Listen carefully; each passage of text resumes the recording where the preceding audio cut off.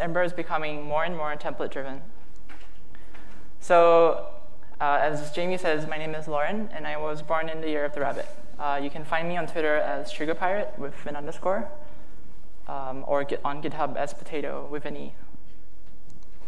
Uh, when, I, when I'm not working on open source or like just work in general, I sometimes play Overwatch. Uh, it's quite an addictive game. But thankfully, I have a little puppy, uh, Zelda, who keeps me grounded in rea reality because I have to take her out for walks and stuff. Um, she's almost a year old now, and I miss her a lot. She's back in Boston. I uh, wish I could have brought her here, but unfortunately, I couldn't. Um, and so year, a year and a half ago, I was still living in Australia, and I moved to Boston last year to work at Dockyard. Dockyard works on um, a ton of Ember and Elixir applications, as well as very many open source libraries, including Ember add-ons. Um, it's been a really amazing experience working, if, uh, working at Dockyard, so it's a little bit of a bittersweet moment for me. But this month I'll be leaving, and I will be starting work at Netflix uh, on the Studio Apps team, where I'll be helping to build tools for producing Netflix originals. Um, so that means I'll be moving to California, so hooray, warm weather. now, the title of the talk is a bit of a troll statement. I mean, you could probably write an application, an Ember app without handlebars, but you're going to have a bad time, and you, you'll lose out on a lot of things that Ember is good at. Now, in case you're wondering why the talk is titled this way, it's, uh, it's based on a really bad pun on a song called Handlebars by Flobots. And I mean, it would be actually a really cool trick to be able to write an Ember app without handlebars. But just like a bicycle, handlebars exists for a reason in Ember, as we shall see in this talk. So when I was still figuring out what to speak about a couple of months ago, I only had a rough idea that I wanted to talk about helpers because I think components get a lot of the spotlight in Ember, but helpers don't get as much love as I think they should. They should. So Jamie, a very wonderful MC, uh, pointed me to a talk by Guy Steele. Uh, he delivered this talk in 1998, and it was titled "Growing a Language," and it asked some really interesting questions. He asked if programming languages should be small or large. On one hand, a smaller language is quicker to learn. Uh, that's a easier, is quicker and easier to learn. But it takes more work to get going because you have to write your own tools, basically. Whereas a larger language is slower and more difficult to learn, but there are already many tools available for you to use. And as Tom said earlier, um, the current Ember would be considered a large language because of the object model and just all the mental gymnastics you need to understand before you can get productive in it. Now, there was a quote from um, Guy Steele's talk that I really liked but I think it was a little bit confusingly worded. So the gist is, uh, in his talk, is that language design is a pattern for making more patterns, or a tool for making more tools of the same kind. So let's explore this idea a little bit more. An Ember app is basically written in a language that you've designed. Um, and you define this vocabulary of UI in your application using components, helpers, and Ember primitives in handlebars. And according to, to Steele, a language that's ideal for growth is uh, means that users can easily grow it themselves. For example, the ability to define functions that look like and can be used like primitives uh, is a really good sign that, language, that the language can grow to suit your purposes and feel more natural to use. And what you end up with is a language of components and helpers that is unique to your application, almost like a, a domain-specific language or DSL. And as we saw earlier, if you know handlebars, you could very easily build a standalone Glimmer 2 application without Ember itself, which I think is really exciting. So uh, round of applause for the, the core team. It's really awesome stuff. Now, since templates make up such a large portion of our applications, let's first explore the question of uh, how much logic we should have in our templates, because I know that's a really uh, big question these days. And then we'll talk a little bit about declarative templating and uh, what it means to have your UI as a language. And finally, we'll close off with a few technical tips and tricks to writing good helpers. So a template is basically data with logic embedded in it. And as we shall see, how much logic is a contentious question. Despite a very common claim, Handlebars is not a logicless template engine. It only restricts what logic is allowed. And given the nature of UIs, a strictly logicless templating language wouldn't be very useful, and you probably end up finding it uh, to do what you want. And template engines basically exist on a spectrum with sometimes very different philosophies. On one extreme, you have template engines like Plates, where all you can do is interpolate some data into HTML. Um, there is no logic, and the engine basically encourages you to keep your templates completely logic free. And in the middle of that spectrum, you have engines like Handlebars and Mustache, which allow some logic, but they enforce a separation of concerns. Here you have what looks like some logic in your template, but the actual Im- implementation of this uh, greater than helper is in JavaScript land and it's not in the template itself. And of course, you have your other extreme where more flexibility and more power is encouraged. Now, in programming, uh, we don't often deal in absolutes. So one isn't objectively better than the other. I think it really depends on the circumstances and the kind of problems you're trying to solve. But in Ember, the intention of handlebars is to allow template authors to create logic outside of the template, and we do this using components and helpers, which encourage this separation of concerns by design. So even though it looks like there's logic, we encapsulate it outside of it, and we use that helper in handlebars as a declarative way of handling that logic. Now, sub-expressions and handlebars have been around for quite a long time. I think it's um, almost three years, if I'm not wrong. Uh, but they've only recently begun getting popular in Ember. And sub-expressions are really great for composition. You can do really interesting things with them. But like any other tool, it can be abused, and it probably will be abused. So deeply nested sub-expressions or deeply nested helpers are very much an anti-pattern and should be avoided. The point of a good template is to be declarative and to communicate intent. When you write something uh, like this, which is pretty horrible, I think we can all agree, you should step back and think and basically avoid programming in your template because this is really hard to read. It's also really hard to test uh, and probably very brittle and hard to maintain. And in this particular example, you're probably better off using a computed property. Another way to think about helpers is to think of them as computed property macros that you can use right in the template. If you find yourself doing a lot of boilerplate presentational logic, uh, where you're just like repeating yourself like a million times across all your components, that could be a good candidate for being extracted into a reusable helper. For example, many generic computed properties could be re- replaced with helpers, for example, like in the Ember composable helper, Ember composable add-on, which I uh, authored with Martin. Uh, the logic is not so extreme that it's programming in your template. And the bonus is you no longer need to worry about um, dependent keys and uh, you know like just uh, like trying to figure out what to observe. And inherently, it becomes more usable. But then I hear you say at this point, why not just use JSX? Well, there is a rule called the rule of least power, also known as the principle of least power. And this rule, if I'm not wrong, originated from the W3C. The reason we use HTML to mark up our documents um, in the browser is uh, instead of writing code to, generate them, it's basically because the rules suggest to use the least powerful language for a given task. And just like anything in life, there is no black and white. It's evaluated on a spectrum. And it also some ways similar to the question of how much logic should live in your template. A language with constraints like handlebars is straightforward to analyze, to read, a lot more easier to reason about. And in Ember components, helpers, and keywords, let us express our unique UI in this language that is declarative without having too much logic in the template. The converse of the rule is to use the most powerful flexible solution for a given purpose. And usually that means it's quite imperative, but you know, you can do anything that is imaginable because there are no constraints. But um, because of the rule of least power, Ember still prefers handlebars over something more powerful and flexible. And it's actually handlebars that is the reason why we could uh, get all these performance benefits that Yehuda and Tom talked about uh, earlier. For example, here we have we know that this h1 uh, is static; it will its value will never change, and that the p the p tag is the only thing in this uh, block of HTML that contains a dynamic value. Now, if you inspect the element for this uh, this HTML, uh, this is actually what Ember will eventually render, and you can see that the p tag is actually split over three lines.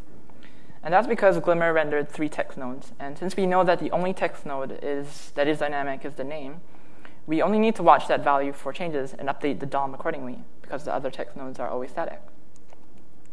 And this kind of optimization is comparatively easier to do in a language with constraints, compared to something with unlimited flexibility.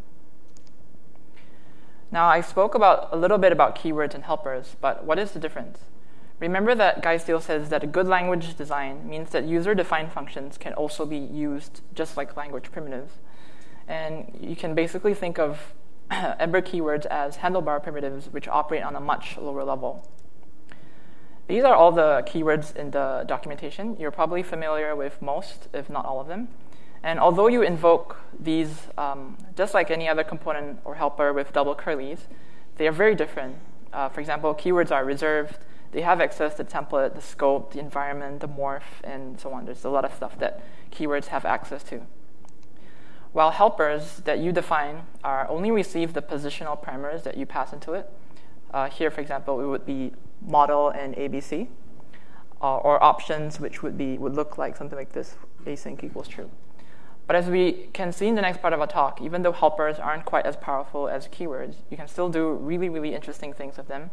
And again, this is the rule of least power at work.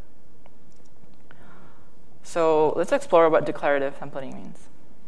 Being declarative means that templates communicate as much intent as possible. You're describing a result. You're not telling the computer exactly what to do. And that's because templates, even more than code, are meant to be read. And at the same time, the more code you have in your app, the more likely you are to have bugs. And nobody likes bugs. Uh, and relying, being able to rely on generic, well-tested helpers and components means, in some cases, you can actually remove that unnecessary logic that you don't have to maintain yourself. Templates are the blueprint to describe the result you want. Instead of embedding data in code, we turn things inside out and we embed code inside data. Conversely, here we're embedding data inside code. And this produces HTML only as a side effect. The code doesn't really describe the result. And even though this approach is a lot more powerful and flexible and you can do all sorts of crazy things, the previous example was much more easier to reason about and maintain. Embedding logic in data is what modern template engines use, and because Ember is becoming more and more template driven, let's look at the spectrum of logic again. There is a fine balance to be achieved here. Obviously, we can't have no logic at all, but then you don't want to get too extreme either and you know, have logic everywhere in your templates. So let's look at some examples. Here we have a very simple computed property that returns an array of employees uh, that are filtered. And the logic for this lives on our component as a computed property. And this is still fine, fine and dandy since the logic isn't very complicated. In fact, I could have probably used a computed property macro here, I think. Um, and now let's say, but now let's say you wanted to group those filtered employees by role, or if you wanted to do some more, uh, say, intermediate processing on that um, this uh, array of employees, you have to add more presentational logic to your component that you now have to maintain and test. And to make things worse, if you wanted to replicate this uh, filtering and grouping in another component, you now either need to extract this computed prop- this series of computed properties into uh, like this very powerful macro, which can be very complicated to write because uh, now you need to determine how to um, get those dependent keys that you need, uh, you know, to, in order to observe um, all these, like the employees. Or you might even need to make a mix-in, which can be very error-prone. Now, on the other hand, you could also use helpers to eliminate those computed properties and do the filtering and grouping directly.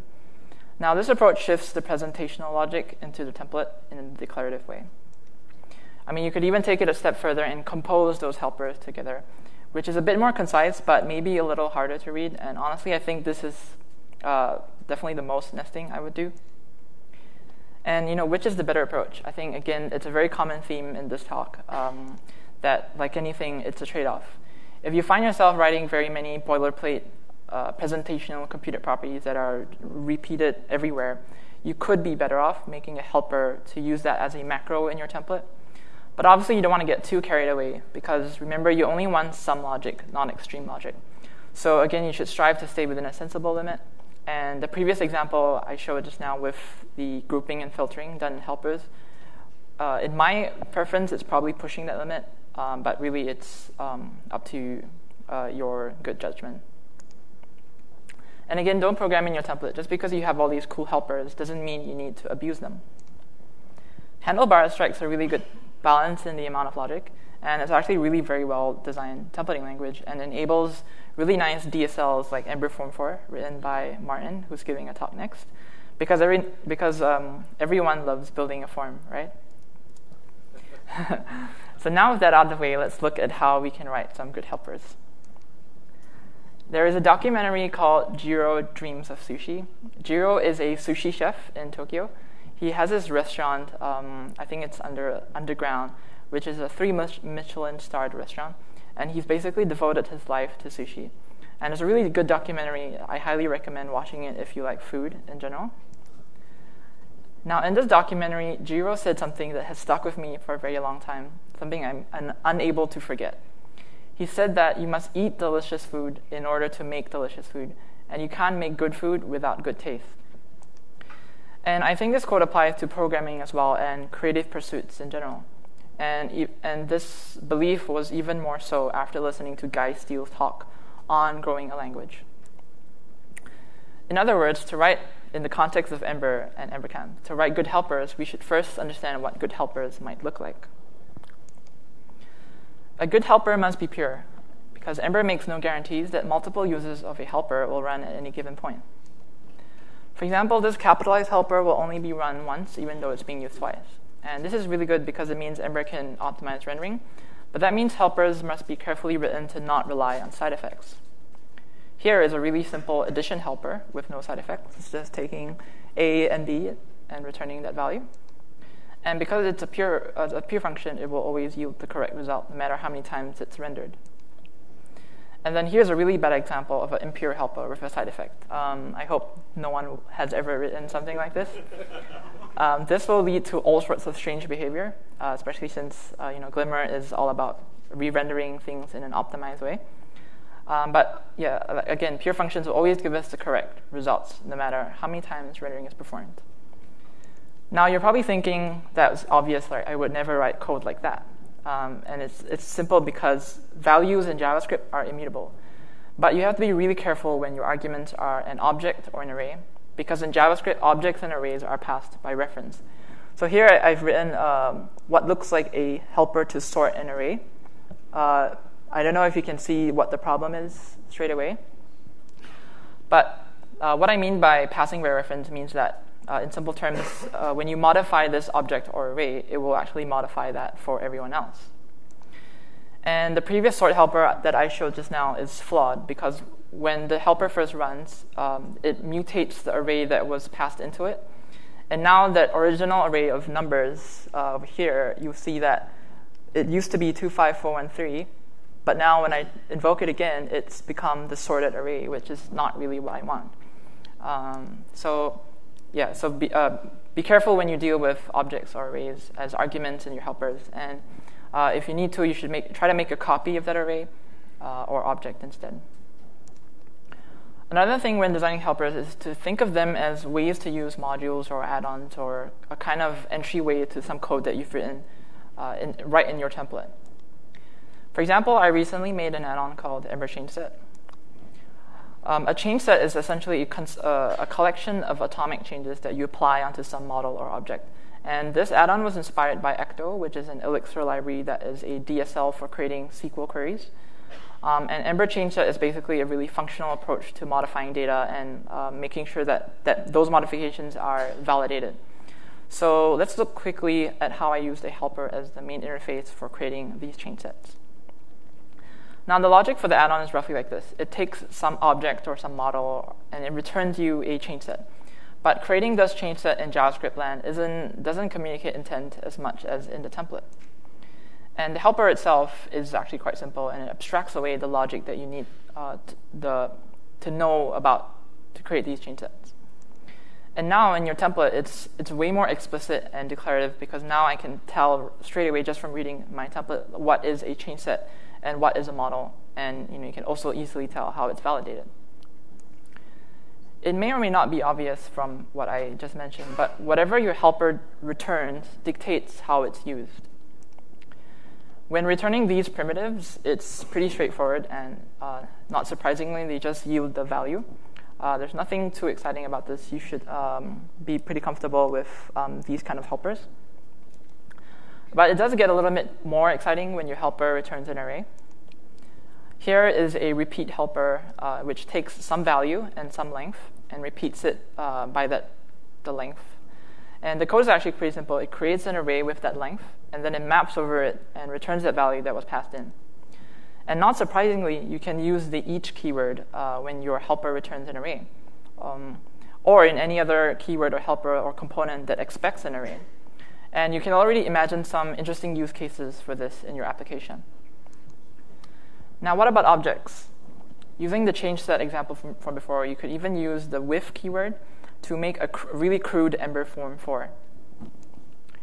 And when you're returning an object, you can even do something as crazy as this, or what I call the contextual helper. When I first realized you could do this, I thought it was kind of silly. But it turns out you can use this technique to do something you're probably already familiar with in object oriented programming. And what it allows you to do is basically component dependency injection. So here we have a parent component with some child components, and we, you can see that um, these components are actually passed in from the outside through a hash, which gives you an object. And now in my parent components template, I, I basically decoupled uh, those components from the parent or container component. And my parent container uh, parent component no longer needs to know anything about those child components. And now if you do um, a lot of component integration tests, you can better test that component in isolation. And here I have a, a helper um, which is available online uh, to do essentially uh, to be able to register a dummy component. So now in your test, you can actually stub out those child components. And as you can see, what you return in a helper really changes how it's used. You can even return functions in a helper. Um, for example, here we have a toggle helper, which inverses a Boolean property on some object. And in JavaScript, a function that returns a function is known as a higher order function. And a higher order function helper lets you basically make Ember action helpers. I'm sure you've written some action like toggle is expanded or toggle is displayed or toggle something many times before. Um, you could actually extract that as a helper, and because it's so generic, it's uh, a lot more usable, and you only need to, um, you no longer need to like basically maintain that presentational logic yourself. And higher order functions, uh, by definition, take in other functions as arguments. For example, the Ember composable helpers add-on has a helper called the pipe helper. Uh, and since in Ember actions are just functions, uh, you can actually pass those actions in as arguments to the helper. And what this pipe helper does is let you invoke those actions sequentially by passing the return value from one action to the next action, kind of like uh, an Elixir pipe, if you're familiar with that. And there's actually not much code involved, uh, but you can see how something like this can help you uh, dry up a lot of boilerplate UI logic. Where, for example, if you uh, you know you click a button, you want to also submit record and show a dropdown, and like you want to basically compose these actions together. Uh, and you can you can easily imagine like different use cases that can emerge from uh, this kind of pattern. So again, even though helpers aren't as powerful as the keywords that um, Ember provides us, you can do really, really interesting things with them. Um, the previous examples were all simple helpers. For more complex needs, you can make a class-based helper, which you can think of as uh, an Ember object. And that means you can use computed properties, services, uh, even access the container and whatever else crazy thing you want to do. Um, here is an i18n helper uh, where you can look up translations on a locale service. And now your helper can listen to a change in locale and uh, when that locale change changes, all your translations will automatically update, even though that locale isn't being explicitly passed into the helper. Uh, and if you notice, there's a little bit of a friend here, observer. So if you, uh, it's currently only okay to use observers in class-based helpers, uh, so don't use them anywhere else. Okay, you're probably pretty excited about all these cool helpers, but when should we prefer to use a computed property and when should we prefer a helper? So the first thing you learn about in Ember is probably a computed property, um, most likely the first name, last name to get the full name uh, example. And it's a really nice way to compute a value updating automatically. But auto updates, as we've learned, can be a double-edged sword because you know you can't really control when those values update. So computed properties are best suited for business logic. But knowing what keys to observe in that computed property can sometimes be quite tricky. Um, sometimes you need to know ahead what those dependent keys are. Uh, sometimes you even need to be able to determine what those keys are at runtime. Which can be quite complicated and also can be quite hard to extract to make that, uh, you know, a, to make that a reusable computed property macro which you can use anywhere. Helpers, on the other hand, um, are best suited for generic utilities, especially um, things like this, where you might want to repeat a block of HTML a couple times. Um, they're not really direct, uh, directly re- related to the domain that your uh, app is trying to solve, uh, not really related to business logic, but you can see how these generic helpers can help us dry up our app and give us nicer markup. And uh, you don't have the same problems in a computed property where you have to figure out what uh, dependent keys to observe. But remember, just uh, don't get too carried away with helpers because, again, uh, this is really bad, so don't do it. Okay, in conclusion, uh, a template is logic embedded in data, and the amount of logic in your template lies on a spectrum. Nothing is black and white. Handlebars enforces a separation of concerns, so don't program in your template and remember the rule of least power. And your templates are a UI language for your app that's unique to you. So keep it declarative. And how much logic you have in your templates is a bit of a fluid balance because sometimes a little bit more is better, sometimes less is better. It really depends. But generally, you can think of helpers as a nice way to dry up your code, uh, especially when they are very generic. And finally, what your helper returns changes how it can be used. You can return anything from a string to an array to an object to a function, and many different use cases can emerge from this pattern. And if you need access to services or computed properties, use a class-based helper. So I'm really bad at Q&A when I give talks. I, my brain freezes. So come chat with me during lunch, and I'll also give you some very limited edition Sugar Pirate stickers, which you can see over there. Uh, thank you for listening.